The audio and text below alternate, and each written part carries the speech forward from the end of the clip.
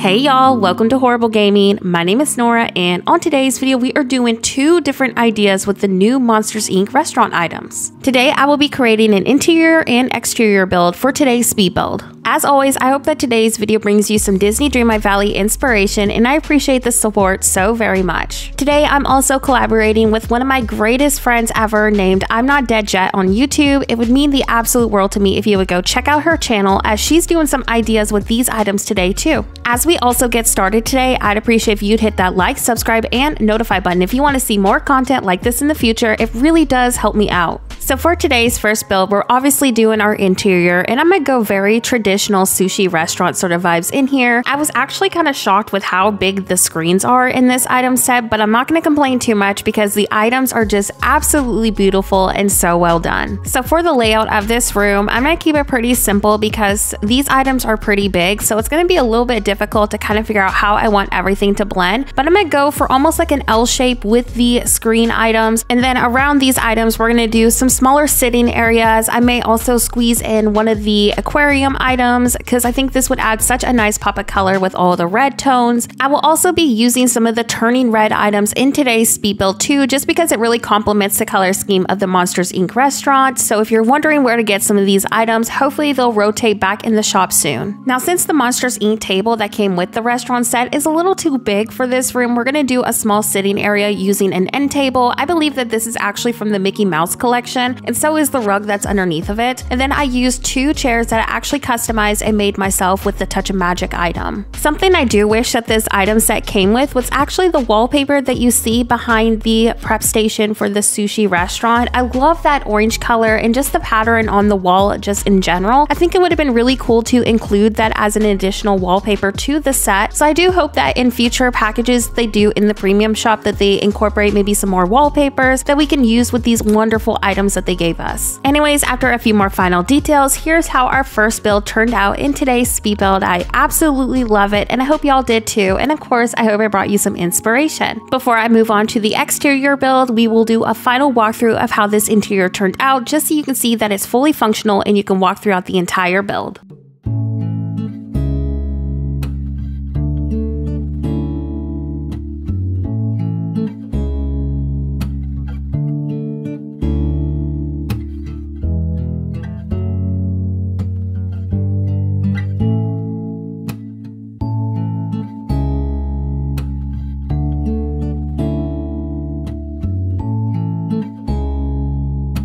For the exterior build today, this actually took me a little bit longer to figure out as it was really difficult to kind of give the illusion that this is a building outside. I honestly wish they would have gave us the Monsters Inc. restaurant building to kind of go with this set. I think that could have been such a cool additional piece to decorate both the inside and exterior of it. So I'm hoping that in the future they give us more buildings. They've really been delivering on the premium shop lately. So definitely manifesting for us that we get maybe some restaurant buildings in a future update. So I think I'm going to go for almost like an L shape with this building just to kind of give the illusion that it's a large restaurant and we're to do a really nice Zen garden vibe in front of it. The Zen garden item that you're seeing me use is actually a craftable item that you can make at your workbench. So since I'm going for a Zen garden sort of vibe in front of the restaurant, we're to do two Zen garden pieces and then I'm to use the rocky terrain and kind of like frame it in with, I think it's just like the simple gravel path, but that's to go underneath the rocky terrain. And it's just to give it a really nice texture and great contrast, just like you see in the Zen garden item. Now to kind of get this somewhat symmetrical so the rocky terrain actually lines up in a perfect square, we're to kind of space out the Zen garden items just a little bit. And in between this, I'll be placing a bamboo plant and a turning red statue. And next I'm going to go ahead and continue working on the details around our Zen garden.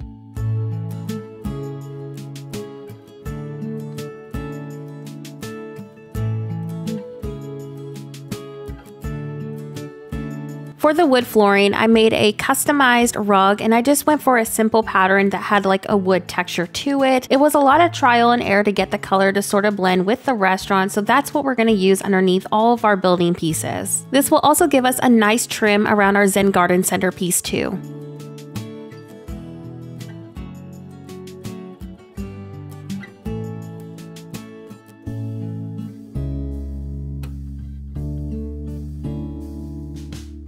Next, I thought using the vine wall behind this building's empty space looked really nice and kind of added a nice lush effect to the build. If you didn't like this option, you could go with maybe a couple of bookshelves, but I just thought it really gave such a beautiful green touch to the Zen garden vibe that I'm trying to go for. My build is definitely getting very close to being done, so really that's all that's left to do is just detail some of the empty spaces, and then we're going to do a little bar area as well. Since I don't really have any Zen benches or cushions like you see on Animal Crossing, I'm going to kind of do a similar effect by using the red piano benches as I thought this matched the table really nicely. And then I used two of the turning red lanterns behind the table and the bamboo item that you're seeing is a Wreck-It Ralph item and I found that also in Scrooge's. For my bar area, I'm going to be using the Wanderer table and this is a premium shop item. It's like a bunch of Buzz Lightyear collection items all together. I just really like that this added another wood toned element to the bill, but if you didn't want to use this, I think just using a red kitchen island would look just as nice. I'm gonna go ahead and continue detailing the Zen garden area and also placing any additional items that I think would suit the build best, and then we'll go ahead and do a final walkthrough of how today's exterior build turned out.